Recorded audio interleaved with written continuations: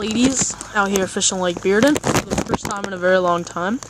And I just caught this little 10 incher maybe. Not big at all, but first my first fish in a while because I haven't gotten a chance to come out. Just a, a nice, chilly, rainy day. Um, Fall day. nice fall day. Anyways, the water's really down right now, but yep, see you. Hola, senors, out on Lake Bearden, and Logan just caught a, a perchy perch. Yeah, we don't like these, but you know, YOLO, life goes on. What's up, guys? Georgia Bass Bros here. Just caught this uh, nice two pound, uh, maybe pound and a half bass on a Tequila Sunrise Zoom plastic twirl tail worm. And yeah.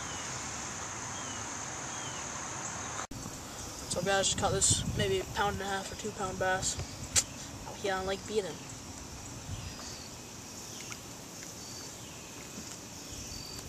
What's up guys, just caught this warmouth out on Lake Bearden using a uh, watermelon red Senko from Big Bite Baits. He's a fat mother trucker. Look at him. Oh, yeah. He's a nice warmouth, big mouth. See you guys later. Chase has got one. Chase has got another damn fish. That's a nice size. Uh, well, he's alright. Uh, about a pound and a half out here on Lake Bearden. That's my fifth of the day.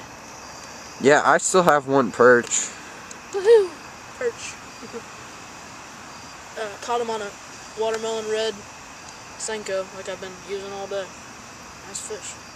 Throw that bitch back.